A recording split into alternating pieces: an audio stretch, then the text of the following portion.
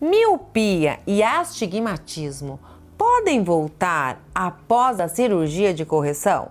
A pessoa que tenha feito uma cirurgia refrativa de correção de miopia ou astigmatismo, ela pode ter uma volta desse problema, principalmente nos casos em que os pacientes são operados é, onde o grau não estava estabilizado. Então, esse grau pode voltar.